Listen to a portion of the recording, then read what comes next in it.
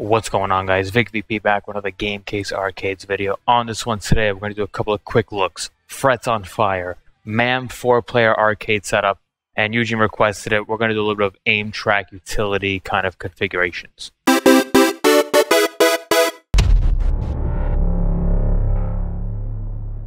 Uh, so really cool. Frets on Fire is a new addition. It's it's really cool. If you look up like YouTube videos, it's basically user created playlist. It's just like Guitar Hero, but it's songs that you wouldn't find on Guitar Hero. Literally, people just sit and make you know the game pretty playable. Uh, really cool stuff. It's it's it's new. There's about maybe uh, 25 to 30 separate wheels. Um, basically, you know, some of them are divided into like you know Pink Floyd, or if you want to do um, Red Hot Chili Peppers. So it's like this specific one will have basically all Red Hot Chili Pepper songs and such. Um, for the purpose, I'm to have to mute the songs. Um, but I just want to show it off real quick.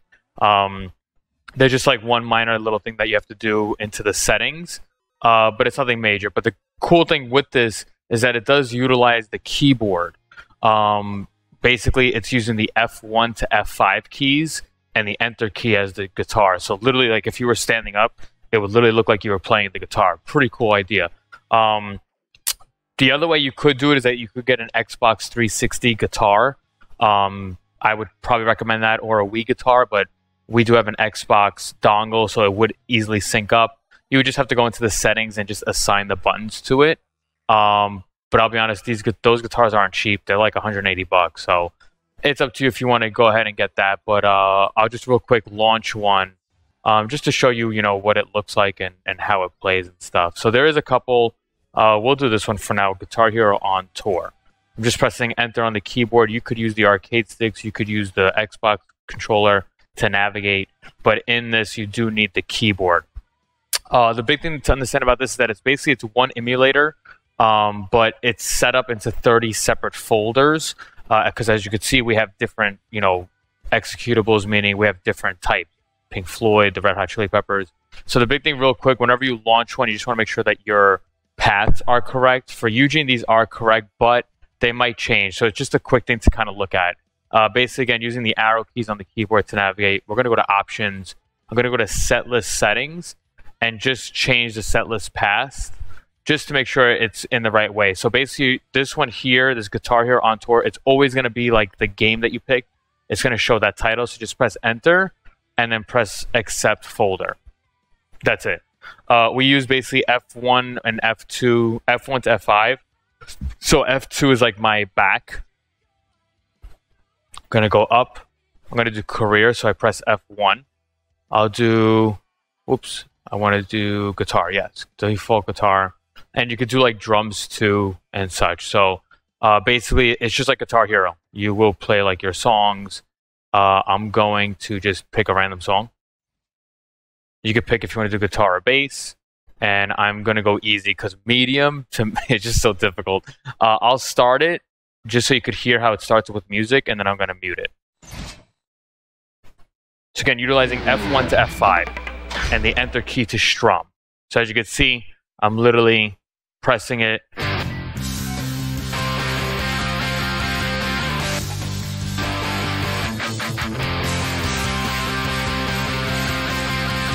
cool, right? So I'll mute it.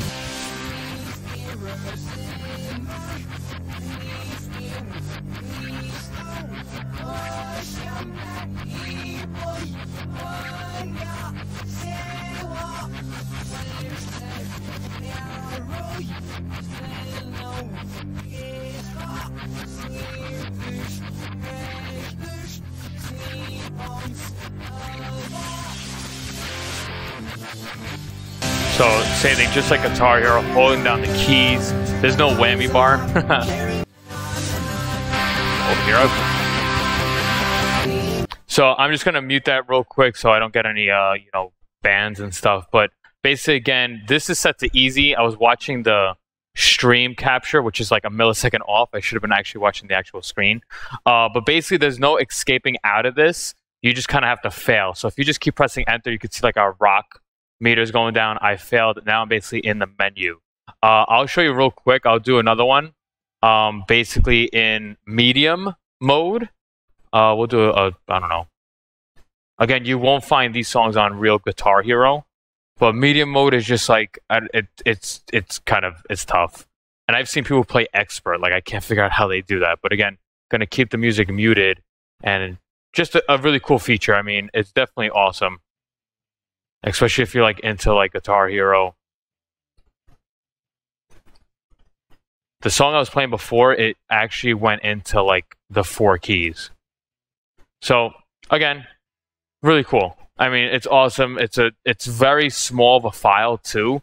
The it's just the music files that kind of take up, but definitely a cool little thing. So again, right now I'm just messing up on purpose so the rock meter will fall out. I'll get the you failed, and then we just exit out like a normal PC program. So quit, quit, and then we will be back into Hyperspin. There you go. That's it. That is Guitar Hero, or I should say, Frets on Fire. So right now, real quick, I'm just gonna breeze through uh, MAM, MAME, whatever you want to call it. Uh, my wheel, there's three MAME arcades. I kind of made uh, an explanation last time of it. Um, basically, the main ROM is my original file where I took out all the duplicates. So, for example, there was Street Fighter, Street Fighter 2 Champion Edition. Then there's Street Fighter 2 Champion Edition Asia, Japan, Europe, USA, World. So basically, it's the same game times five. Um, what happened though is that I had somebody purchase a drive and they had um, they they didn't have like the Golden Tee working. So I noticed that basically me removing a couple of those duplicates actually kind of messed up some of the other games because some games are called parent ROMs. You do need a parent ROM to run the clone ROM. So it's all technical from there. So basically, main ROMs, if I go into it, you're going to see like in this list, as you could see, there's no duplicates. It's pretty clean. But the big thing, and a lot of people are going to argue it, especially people that know like their, um, you know, MAM arcade stuff. Um, there is essentially a way in Hyper HQ to set only parent ROMs to show off. And I've noticed so far for maybe three systems, you enabling that actually removes other games. Um, so, for example, in all honesty, this one here has the parent ROMs enabled, it doesn't show duplicates. But again, it would remove some games, like you would you would be missing games. So if I go back and go into all ROMs, I have that as the entire MAM arcade library open, not just showing parent ROMs, it's showing everything. So as you can see real quick, like we can see this X-Men. You see how many X-Men's there are? You got a Euro, we got Hispanic, we got Hispanic, we got Japan, we got Japan, different versions and stuff. So on this one here, you're going to find there's 9,000 ROMs on this. And again, just to be safe, I this one you, you just have to have it like this. Yes, she'll be going nuts going down the list. Um, but if I go, for example, like Golden Tee, I'll go to G, I'll hold down. Yes, you will find duplicates in this. This is all ROMs because also another thing I did notice that some of the parent ROMs, like you might launch it and it might not launch. So it's better off, if anything, to go into the this main the all ROMs wheel and just find another game. So I haven't tested all 9,000 games. Let's be real, nobody has. It's just something to think about and such. So if I go real quick, I'm trying to find like Golden Tee. See, like we have a couple of Golden Tees. Got Golden Par, that's not Golden Tee. So we got Golden Tee 97. And right now it doesn't show you the actual ROM name because I removed it. But like this would be like Golden Tee 97U this is Golden Tee 97E. So it's just these did need um, the other stuff basically to work with it. So what I learned is that for MAM Arcade, it's just easier to give you all 9,000 ROMs, and this way it does work. So if Golden Tee, if this one doesn't launch, then this one most likely will launch. So again, I could launch one real quick just for for for, for shits and giggles, and it launched. So you know, all these will launch. I have, I'm using the Xbox controller right now, so I'll just exit out by holding. Uh, what am I going to hold? Nothing actually. I'm sorry. This is set to regular MAME, so I do need to use the arcade sticks exit. Uh, just a quick thing: Joy-to-Key is not active on that for MAM Arcade. I have it set to the specific buttons. Now, real quick, talking about four player. So the four player one, I sat down tested each game. There was originally 132 games. Three of them were on the list, but they weren't at all four player. It was a two player game, so I removed it. Now all these games are 100% four player to it's either three player or four player. Some games are not four player, they're three player. So I'll fix up again the artwork and the video files and stuff, but as of right now, all of these will launch. So I'm going to see right now. I do want to do one that's four player. I'm just going to turn on, again, I have two Xbox controllers. That's another thing, real quick. I set this MAME, MAM uh, emulator setup as player one is always arcade stick one, player two is arcade stick two, gamepad one is player three, gamepad two is player four. So if you were going to wanting to play, let's say, with four Xbox controllers, in reality, it's not configured like that. It's a quick configuration that I could show you if you ever need that. Uh, it's very easy. But right now, I'm going to launch a four-player game. So this is actually a, a knockoff. This is Teenage Mutant Hero Turtles. That's actually not the right ROM I want to launch, but it's TMNT, but it's like a knockoff version. Uh, I'm, I'm also going to exit out, but just want to show you full screen on it. Again, I'm pressing select. This is player four. I'm pressing select. This is player two, player three, I mean, arcade stick player one, and then you'll be ready to play. So again, I have all that four player configured. Right now, I do need to hit the exit button on the actual arcade stick. That's how I have it set up. It's on the arcade stick itself. So, for example, like another thing I did notice as far as a pre-made wheel, um, I'll fix the artwork again. It had the Simpsons ROM. Uh, it had it as like a weird Simpsons ROM name, the Simpsons 4PA, and that one didn't launch. So I had to wind up going into the database and adjusting accordingly so that these things do run. So again, literally spent maybe about four hours just launching a hundred games just to make sure they work. So again, Xbox controllers, I could use the arcade stick to start. Just again, a big thing, I do have to use the arcade stick to exit out. That's the only thing. I mean, again, I have it set up like that uh, people that are interested in four player control panels, MAM Arcade, I don't have set to joy to key. I, I just don't have it like that. Some people do. I personally don't. If you want to play with the inputs and mess up, you know, change the controllers, you have to go into MAME Arcade to fix that. So, uh, MAME emulator, I mean. Uh, other than that, though, uh, this is cool. This is all set. for players. Again, some of the artwork I just have to kind of fix up. And other than that, it's it's a pretty easy fix. Now, the last thing, real quick, I want to discuss because Eugene did ask it. He asked me, "Hey Vic, if I buy another Aimtrak gun, what is the steps for me to do that to configure it?" It's really easy. I would probably rather Team Viewer in to help you with that. So what you'll do is that you'll come into the search bar right here, and you'll just look up Ultimarc or Aimtrak. ULT is all I put, and then you'll see here the Ultimarc Aimtrak. Um, give it a second for the utility to pop up, uh, and it's really easy. Uh, so basically, right here we have all the devices. So again, you could do up to eight devices on this, eight guns. Um, just remember, for me, device one is player two, device two is player one. That's just how I have mine set up and such. So let's just say player one's gun exploded into a million pieces, and now you have a new gun to recalibrate it. We're going to plug in the Aimtrak, and basically you're going to go into setup here. With the gun plugged in, you're going to do set ID to two. Again, player one is ID two, player two is ID one. I know it's complicated. Just again, call me. I'll help you with it. Basically, you do set ID to two, and then you press OK.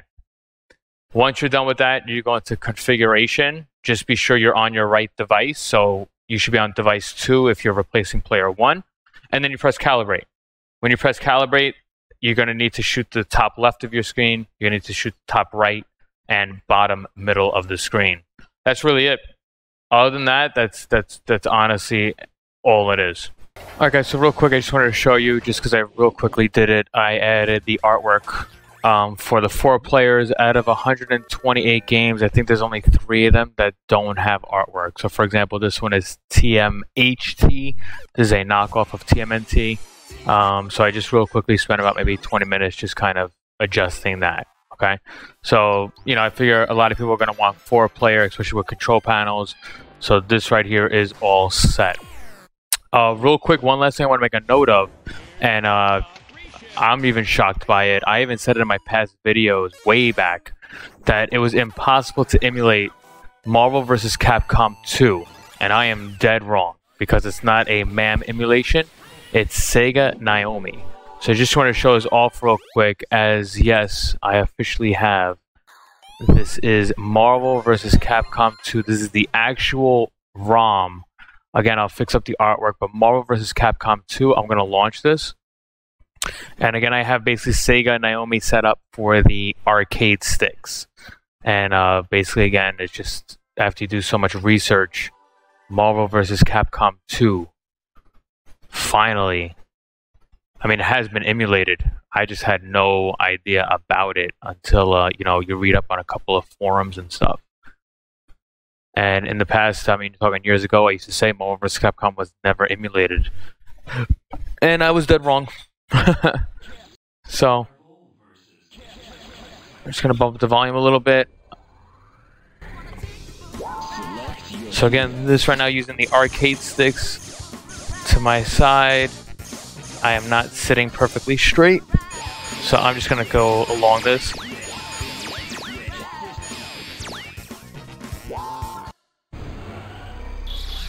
Again, Sega Naomi. Naomi, Naomi. And this is like amazing emulation. I used to spam cable with the handgun all day.